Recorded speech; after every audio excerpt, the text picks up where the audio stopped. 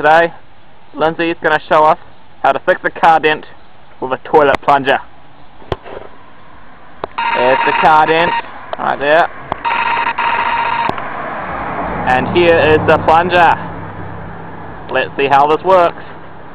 It's not his car even, but he's just that type of guy.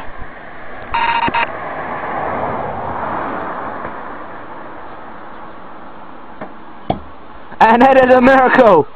It's not there! Woo! Well, today we've learned the real reason of toilet plungers. Celebrate, man. Celebrate.